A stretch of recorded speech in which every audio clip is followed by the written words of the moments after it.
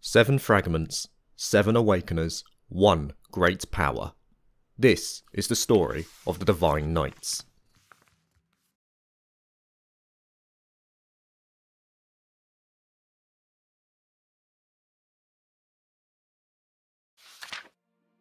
Long ago, before the Great Collapse, two clans resided in the ancient land of Erebos, the Kin of Earth and the Kin of Fire. Each group also had under their jurisdiction two septerions granted by the goddess Aidios, treasures that were meant to bring untold prosperity to the ancient civilization. These were the Ark Rouge, the Septerion of Fire, and Lost Zem, the Septerion of Earth. For a time, the two clans existed somewhat harmoniously, and the pair of Septerion granted boons to their charges, bringing forth comfort and tranquility for a time. However, human nature dictates that they will always want for more, and this lingering darkness eventually boiled to the surface. In a bid to gain supremacy over the other, the two clans waged war upon each other, and the Septerions manifested into titans of immeasurable height and strength to do battle. Over the next 1000 days, the land was ravaged and torn apart by the clash of earth and fire, and though the clans realised they had made a mistake and sought to end the fighting for the salvation of humanity, the clash of the elements could no longer be stopped. On the 1000th day, the two Septerions prepared themselves for one final bout, expending all their power in a single blow. The resulting melee ended with the two vessels thrown to the farthest reaches of Erebos, motionless even to this day. Thus was lost the Ark Rouge and Lost Zem. However, to say that they disappeared was inaccurate. Instead, something else happened that defied even the design of the goddess who bestowed them originally. What lay in front of the clans was not fire or earth, but rather a new entity, a fusion of primal elements. It was known as the Great One, the Septarian of Steel, and great it was, for it was seen as the ultimate power but despite that, it housed something that neither clan could hope to control, an endless conflict that had the potential of growing indefinitely. Thus, it was deemed too dangerous to wield, and the two clans along with the holy beasts of fire and earth sought to seal it away. After many failed attempts, the groups decided that the only way to contain steel was to split its physical form into fragments, while leaving it whole on a higher plane. With their combined expertise, the Kin of Fire were able to split the physical incarnation into seven fragments, while the Kin of Earth constructed workshops over areas of highly stimulated Septian veins to encourage formation of Zemurian ore clusters.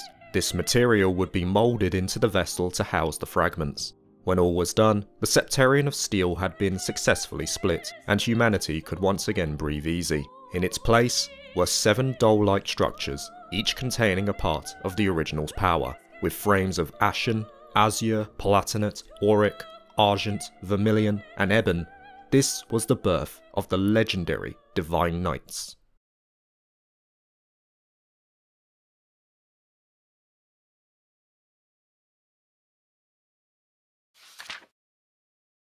With the great power sealed, Heimdall was eventually founded with the assistance of the Kins of Earth and Fire, who had since renamed themselves to the Gnomes and Hexen clan respectively, the peoples even established a monarchy, naming Adjudicator Arnor as the first emperor of the newly formed Erebonia, and for nearly 300 years the land prospered. However, as was foretold in the ancient scriptures held by the Arnor family, a terrible calamity befell the capital of Heimdall in 271 of the Septian calendar. Bellows of rage sounded above the capital as the dark dragon Zoro-Agruga laid waste to the city, its miasma spreading throughout the populace creating a necropolis of the dead.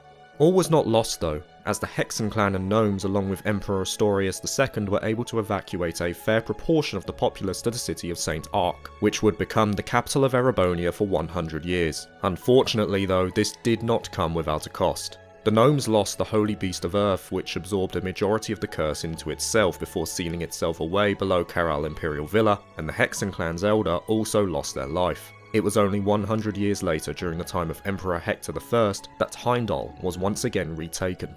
Hearing tales of a fabled knight with great power, the chief of the gnomes bade the new Hexen clan elder, Roselia, to guide Hector to a weapon that could assist him in retaking the capital from the Dark Dragon, a seven-arge tall crimson humanoid frame, and the wielder of a thousand weapons. Upon passing the trial and creating a spiritual bond with the being, Hector became the awakener of Vermilion, the pilot of Testarossa. With its strength, he and his army were able to wrest control of the city back from the dead, and the Vermilion Knight was able to best the Dark Dragon. In a cruel twist of fate though, the dragon's miasma-filled blood seeped onto the Divine Knight, causing it to become corrupted and Emperor Hector to lose his life. Once Heimdall was retaken, the Gnomes and Hexen clan once again worked together, this time to seal the corrupted Divine Knight below the ruins that would soon after become Valflame Palace.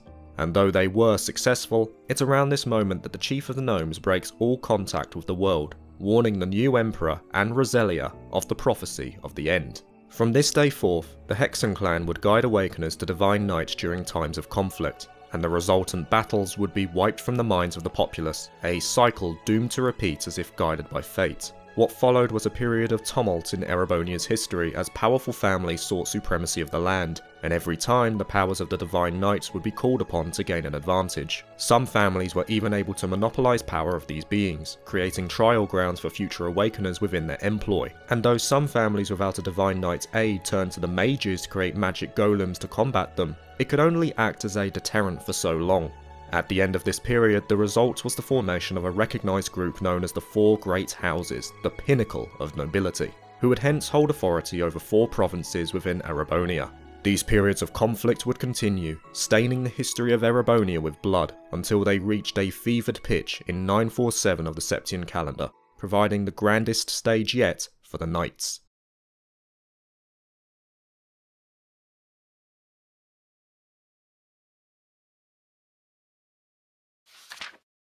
With the death of Emperor Valius V and the assassination of the Crown Prince, the fourth prince Orthros usurped the throne by force, culling any who opposed his authority.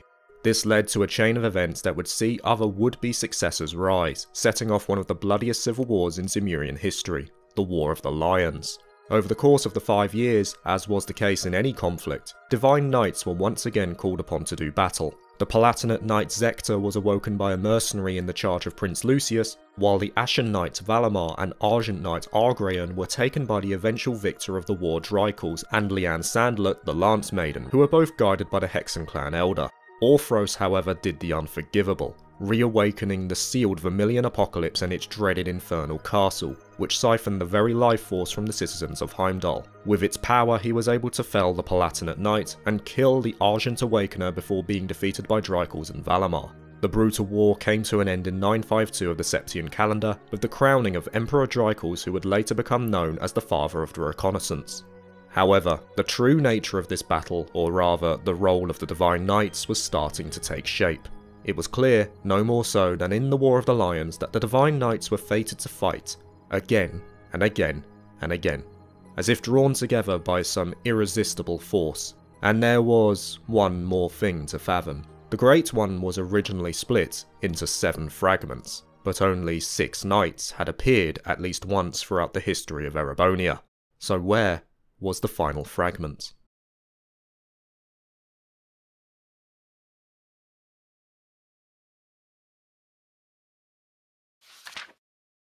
In the shadows of history, the last fragment of the Seven plotted.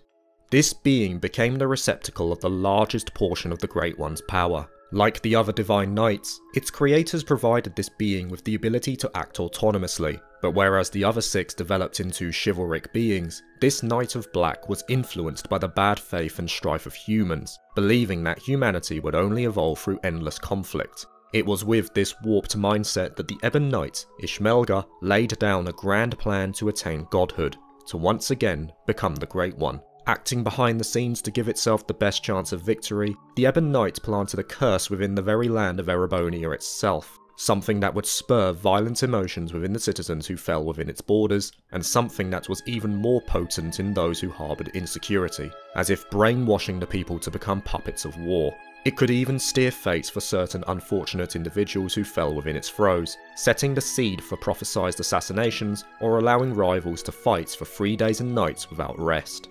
This curse, along with the Great Twilight, would provide the ideal kindling for an ancient ritual that would see the Seven once again become one. But despite being the harbinger of countless calamities throughout Erebonia's past, including the attack of the Dark Dragon, and the being who was the cause for the gnomes parting ways after the retaking of the capital in the wake of its defeat, the Ebon Knight lacked one thing to ensure its victory. Or rather, it's more fitting to say it lacked someone. It needed an Awakener, a pilot who was worthy of its immense power, and during the War of the Lions, it found a suitable candidate. Relinquish it to me. It belongs to me. Your soul, your entire being.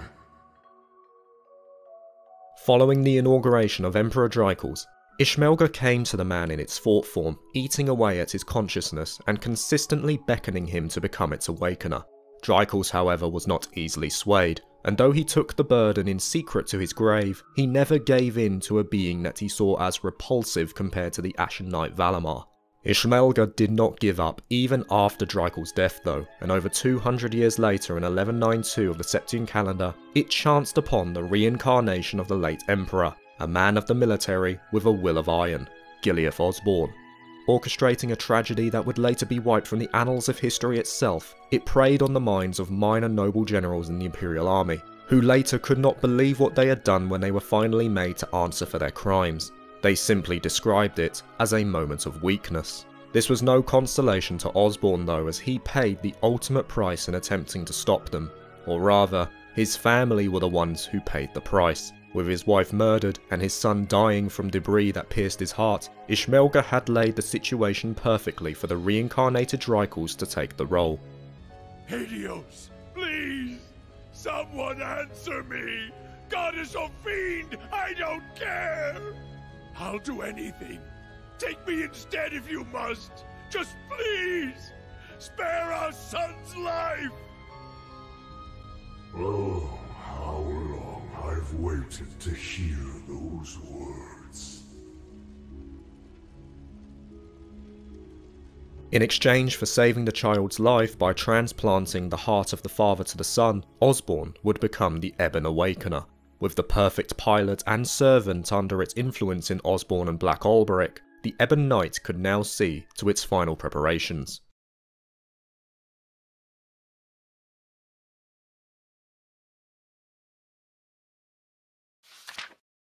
In the year 1204 of the Septian calendar, war once again ravages Erebonia, and the Divine Knights take up their roles for the final time, with the noble uprising eventually quelled by Osborne and the pseudo-clash of Azure and Ashen failing, he looks to assemble the remaining fragments at the behest of Ishmelga, and by 1206 of the Septian calendar, he finally gets his wish.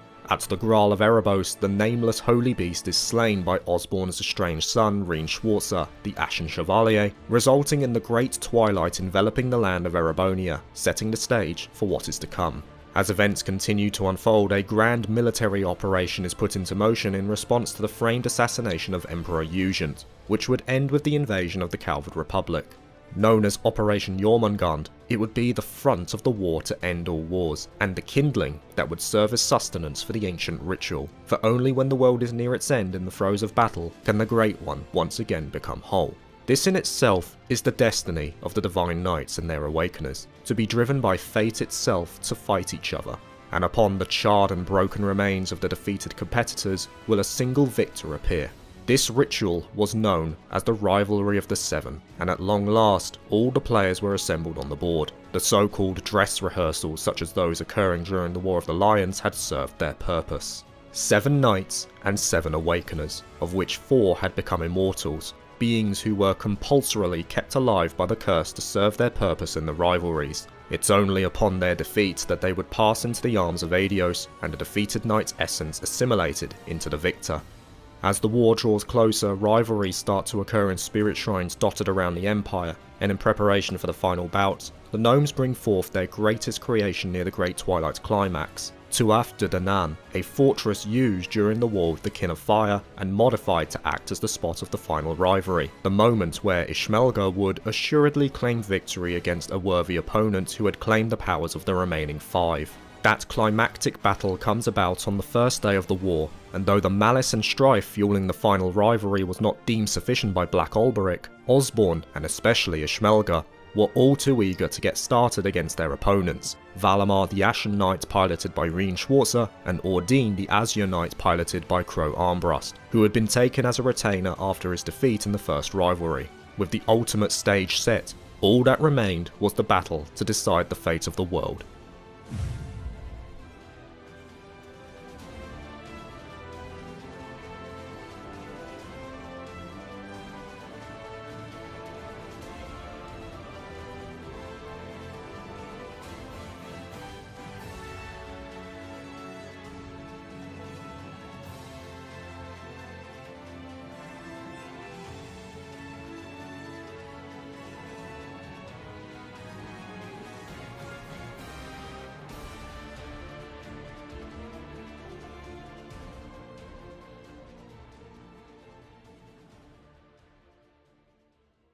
Come the end of the duel, Valimar and Rean prevail, and the Ebon Knight is absorbed as per the rules of the ritual, corrupting Ashen and Awakener alike, displaying the true malice that Osborne and Dreichels had endured for years. And for a while, it appears that the cursed being is about to attain what it has desired for over a millennia.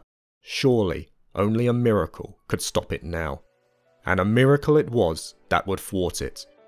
Ishmelga had been tricked its awakener Osborne had managed to resist the darkness that surrounded him for years, and orchestrated the only chance that the heroes of Erebonia had to rid the land of its curse once and for all, by drawing Ishmelga's thought form to the realm of humanity at the climax of the rivalries. With the bonds created through years of hardship and achievement, the curse that enveloped Rean's heart given to him by Osborne is ripped away, and sealed within an earthen prison bestowed as a last act by Argreus, the holy beast of earth.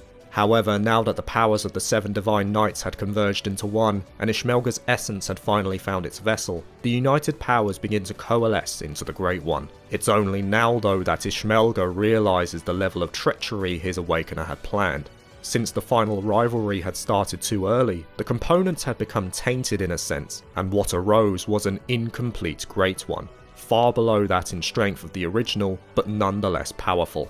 That being said, it gave the chance for the heroes of Zemuria to slay the monstrosity once and for all.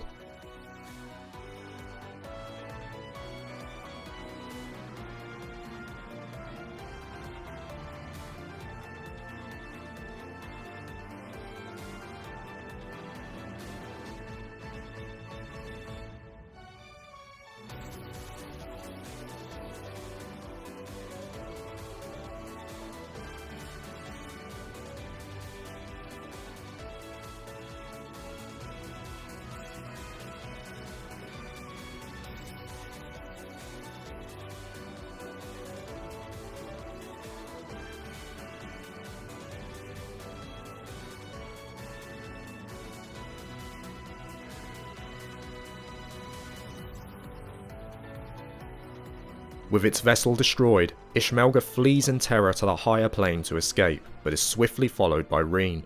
Its persuasion falls on deaf ears, and the curse that plagued Erebonia for so long is destroyed with a gleam of cold steel. With the rivalries complete, the six remaining Divine Knights once again appear, and with their purpose as vessels for the Septarion of Steel complete, they begin to fade away, but not before providing one last miracle, such is the noble nature of legendary knights. With the activation of the Sacrament program inbuilt to the Septarions of Fire and Earth, and the orders given by the Chief of the Gnomes now no longer under Ishmelga's influence, along with the head of the Hexen clan, the Divine Knights convert their residual energies into a new vessel to hold Crow Armbrust's soul, and also secure the soul of the Originator Zero, allowing Class 7 to once again become whole. With the miracle performed, the Lost Zem and Ark Rouge forever disappear from the world, and the Divine Knights follow them to the great beyond.